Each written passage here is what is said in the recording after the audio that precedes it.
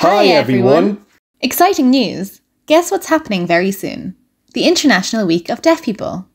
It's the same week as Irish Sign Language Awareness Week.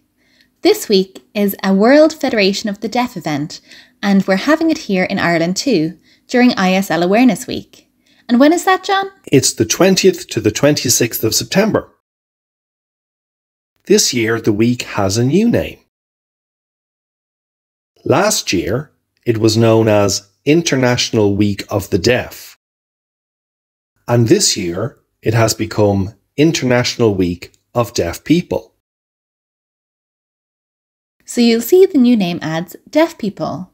That name change was made official at last year's 16th WFD General Assembly, kind of like their AGM and it'll be used this year and going forward. The week is celebrated every year in September.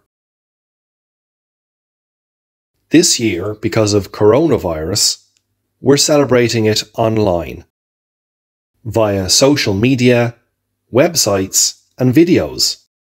Who is the week for?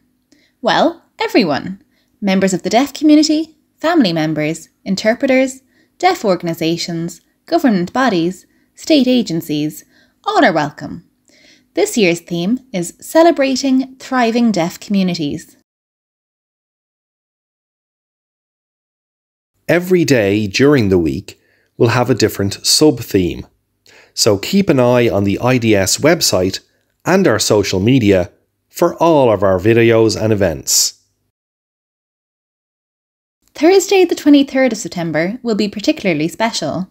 It's the International Day of Sign Languages. The United Nations has designated this day as International Day of Sign Languages. This year, that day's theme will be We Sign for Human Rights. Support the Irish Deaf Society and support ISL. Watch our videos and enjoy the activities. Happy International Week of Deaf People!